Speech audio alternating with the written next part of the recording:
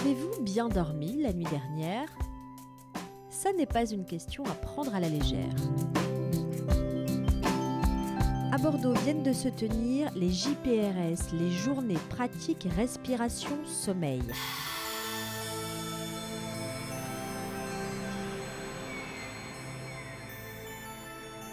Nous y avons trouvé les meilleures innovations du moment pour redormir comme un bébé.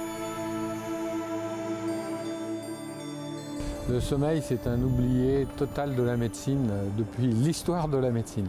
Et de façon étrange, mais parce que maintenant nous avons les moyens de l'explorer euh, techniquement, on s'aperçoit que c'est des pathologies qui sont extrêmement fréquentes. Et parmi les pathologies du sommeil, de loin et de très loin la plus fréquente, ce sont les troubles de la respiration qui surviennent pendant le sommeil. Alors pourquoi? Parce que dans le sommeil, il y a un relâchement musculaire. C'est pour ça d'ailleurs qu'on dort allongé et non pas debout. Et ce relâchement musculaire, normalement, ne touche pas des zones qui sont au niveau de l'arrière-gorge, certains muscles.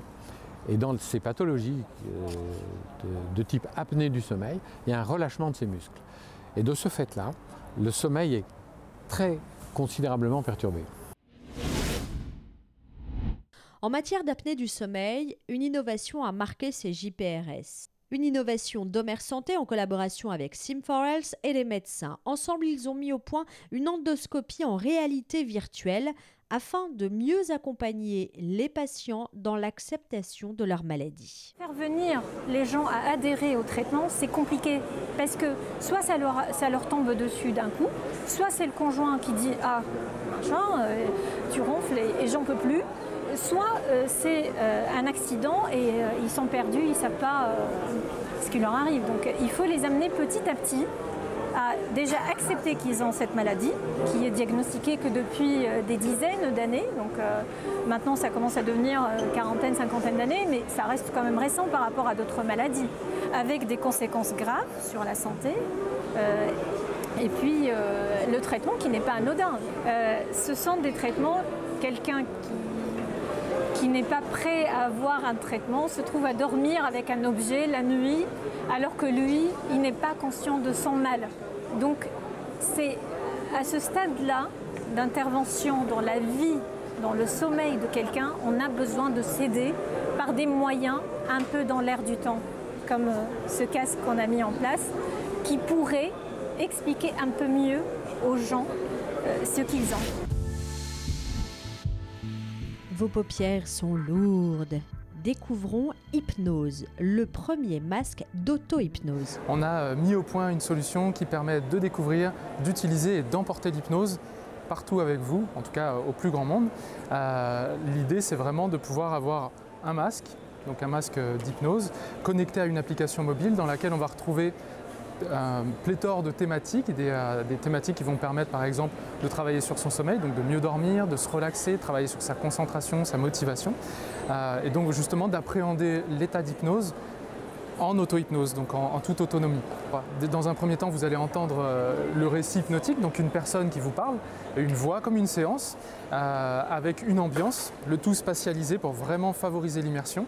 Et le masque, lui, va se synchroniser avec des lumières. Donc si par exemple, dans le récit, à un moment donné, vous ouvrez une porte, les lumières, elles, simulent euh, l'ouverture de la porte pour vous aider à imaginer et à rentrer dans votre expérience.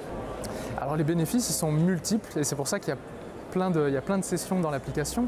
Euh, ça va de, euh, de l'amélioration du sommeil, donc vraiment reprendre confiance dans ses capacités d'endormissement, euh, avec un travail en profondeur, d'où l'intérêt de l'hypnose. On va avoir travail sur la motivation, sur la concentration, sur les addictions, aider les personnes à arrêter de, fumer, de grignoter, des choses comme ça. pour les enfants aussi, on va retrouver des contes hypnotiques, toujours à vertu thérapeutique, entre guillemets, je dis thérapeutique parce qu'on ne se substitue pas à la thérapie, mais l'idée c'est vraiment je suis avec mon enfant avant de se coucher, il a peur, euh, il a peur du noir ou du monstre en ce moment parce que c'est la, période, je lui mets le masque, il écoute, euh, il écoute sa session, ça, fait office de, de, doudou, de temps de temps d'histoire, ça remplace pas l'histoire avec le parent. Et, ça lui permet justement bah, de, de s'endormir avec sérénité. Et voici un bandeau révolutionnaire, le bandeau Dream, qui analyse l'activité cérébrale d'un dormeur pendant son sommeil, qui l'aide à l'endormissement et qui favorise le sommeil profond. On s'est rendu compte il y a quelques années qu'on euh, a trouvé en fait que, que certains sons stimulaient euh, le sommeil profond. C'est-à-dire qu'en fait, les ondes de sommeil profond étaient bien plus importantes avec ces sons. Du coup, notre recherche, est partie un petit peu de là.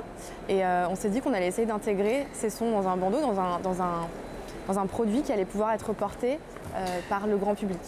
Pendant certaines phases de votre sommeil, si on met des sons, si vous entendez des sons, ça va en fait amplifier les ondes lentes de votre sommeil, donc les ondes du sommeil profond.